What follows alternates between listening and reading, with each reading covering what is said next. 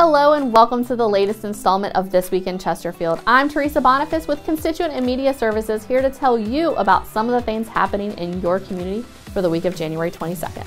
On Tuesday, there's a career readiness workshop being offered by Virginia CareerWorks at Meadowdale Library from 11 a.m. to noon. If in this new year you'd like to find a new career, the representatives from the CareerWorks can help you.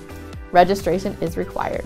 Then on Friday, head over to the Perkinson Center where the Richmond Symphony will be presenting the Four Seasons at 7.30 p.m. There's also a pre-concert talk that begins at 6.30. Tickets are $30 for adults, $10 for college students with an ID, and children are free. Also that night, Swift Creek Mill Theater will begin holding performances of Brooklyn the Musical. Showtimes begin Friday and Saturday at 8 p.m., but check their website for more chances to get your tickets, which are $49. Then it's a busy winter Saturday around the county. Starting that morning as author Libby McNamee visits North Courthouse Road Library from 10:30 to 11:30.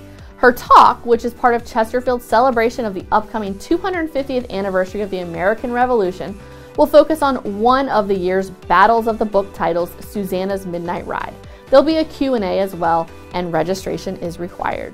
That afternoon, head over to the Perk and you can check out the new gallery opening for Eugene Van Gogh called A Retrospective of the Last 25 Years.